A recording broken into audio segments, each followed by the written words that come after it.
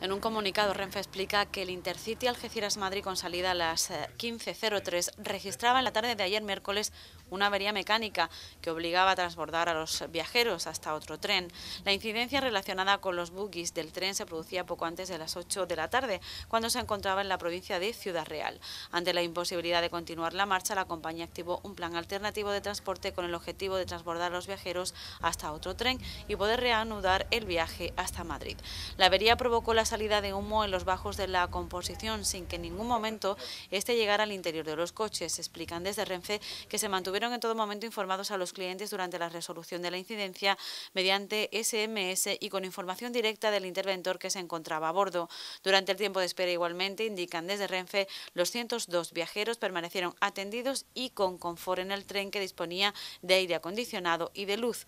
El transbordo de los viajeros finalizó a las 21.50, hora en que se reanudaba el trayecto hasta Madrid. La llegada a la estación de Atocha se efectuó a las 22.53 con una demora de 2 horas y 18 minutos.